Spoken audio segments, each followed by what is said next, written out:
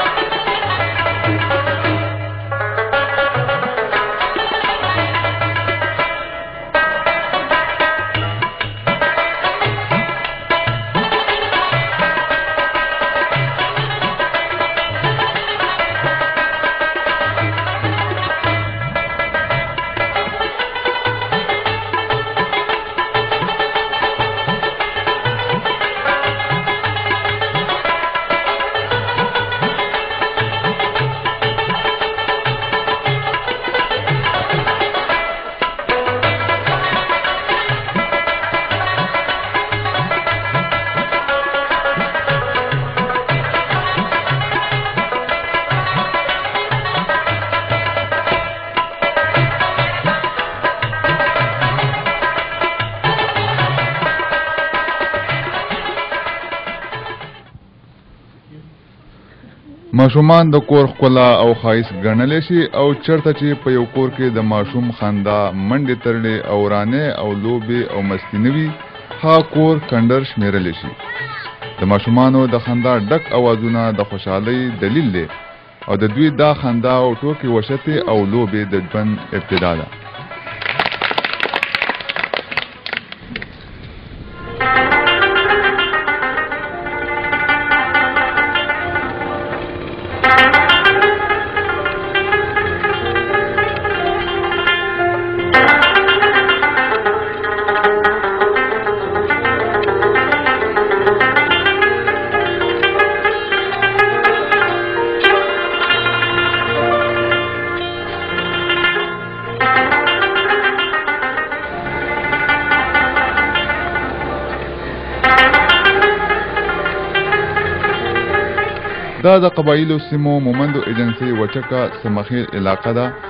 چرته چې د دې پیغلو کې زاهدی په شمول د دې کلی سلور نور واړه هم د پولی ورنګ ښکار شوي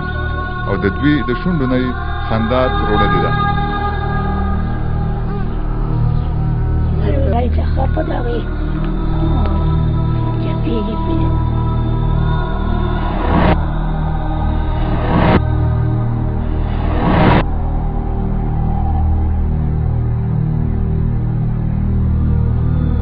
شپاړس کلنه زاهده خواوشا څوارلس کاله اګاهو هغه وخت د پولیو د رنځ ښکار شوه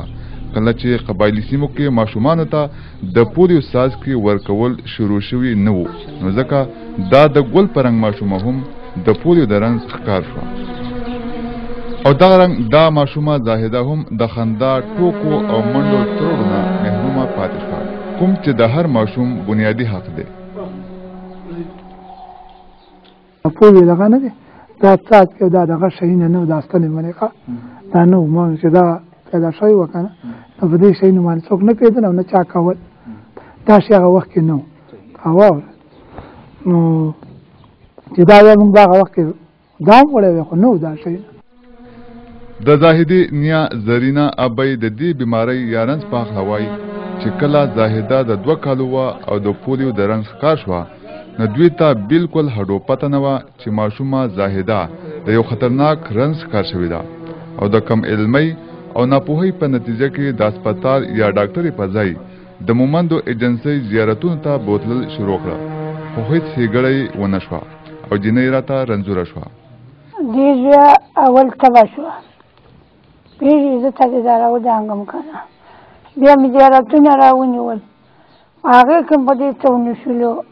ما قتله کې وه بس بې وچېده ما ترندو بابا جي چېرته دا ویوړه په غېږ ګاډي کې لاړ ما دې دې ځاله مړم خو بس بیا اوس خو دې اخره دې دی وچېږي په پښتنو کورنو کې مشرانو ته ډېر عزت ورکړی کېږي او د دوی هره خبره منلې کېږي د زاهدې نیا هم داسې وکړه چې زاهده یې هسپتال ته بوتله خو دا هله کله چې اوبه د ورخه تېرې شوې او د پولیو په رنګ موزي رنځ د ماشومې زاهدې په بدن کې خپلې پنجې خخې کړې وي او زاهده یې د ژوند نه ویستلې وه بیا دې کلمې له ما وړه وراوړه ډاکټرانو راته وویلې چې ترور یې بس اوړه او پاوړه او څه کوئ واوري او نور چې دی که خدای دا ښه کوله دې دوایي ته بیا هم خدای ښه کړي او که نه ښه کوله نو بس خدای پېښې ده نو موږ به دې کې څه ووایو د پولي ورنس صرف زاهدې پورې محدود نه دی بلکې د دې سیمې یو بل یولس کلن ماشوم منتظر شاه داسې ماشوم دی چې خوله یې هر وخت د خندا نه ډکه وي د منتظر شاه زړه ډېر غواړي چې د دې کلي د نورو ماشومانو په شان زه هم لوبې وکړم د نور وړو په شان زه هم کرکټ وکم او په بال پسې منډې ووهم خو ولې د منتظر شاه دا ټول ارمانونه نیمګړي پاتې دي او هغه ځان په دې خوشحالي چې ملګری یا همزولی چوکا یا چکه وهي او دی پې پړخې وهي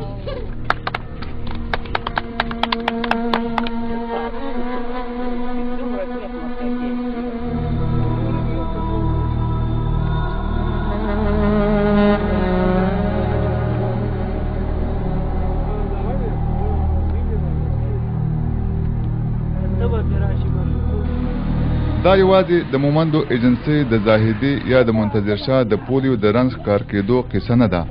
دا د و قبایلي ایجنسو لکه باجوړ مومند خیبر کورم او رګزۍ شمالي او جنوبي ولستان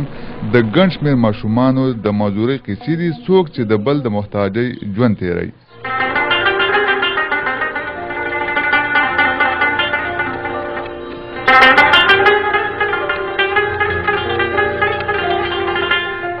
د پاکستان د ننا په کال 1993 کې د پولیو د رنز خلاف ماشومان ته د پولیو ساز کی پړومبي ځل ورکول شروع شو او دغه رنګ د پاکستان د قبایلی سیمو په و ایجنسو او شپږ فرنټیر ریجنز یعنی اف آرز کې د پولیو د خاتمې لپاره ماشومانو ته د پولیو سازکو ورکولو مهم په کال 1990 کې شروع کړی شو او د یوې اندازې مطابق په قبایلی سیمو کې په لکونو ماشومانو ته د پولیو د قطرې یا سازکې ورکړی شوي دي خو د بده مرغه په مختلفو سیمو کې وخت په وخت د پولیو سازکو ورکولو باوجود ګڼ شمېر ماشومان د دې رنځ ښکار شوي دي دا د پیدایښت نه واده د 15 کالو پورې عمر پورې دا د پولی بیماری چې د دې عمر کې خلکو ته لګیدې شي خو په دې کې های ریسک دغه چې دی نو هغه دا د 15 کال نه کم دی او بیا په دې 15 کال نه کم مین دغه چې دی نو هغه د شپږو میاشتو لسو میاشتو ماشوم چې دا ډیر زیات خطرناک وي دغه وایرس اکثر داسې وي چې دې ټایپ ماشومانو ته دې ایج ماشومانو ته دا بیماری ډیره زیاته لګیدې شي د متحده قامونو یا یونایټډ نیشن د ماشومانو د خیر ښېګړې لپاره قایم کړی شوی ادارې یونیسف مطابق د کال 1990 نه تر کال 1999 پورې د قبایلی سیمو او د خیبر پښتونخوا د پولیو ښکار شو ماشومانو ریکارډ یو ځای ساتلی کېدو او د کال 2000 راهسې د قبایلی سیمو ریکارډ جدا کړی شوی دی او د دې ریکارډ تر مخه قبایلي سیمو کې چې کوم کیسونه مخې ته راغلي دي هغه څه دا شان دي کال 2000 کې اته د پولیو کیسونه مخې ته راغلي دي کال 2001 کې یولس کال 2002 کې شپږ کال 2003 کې دولس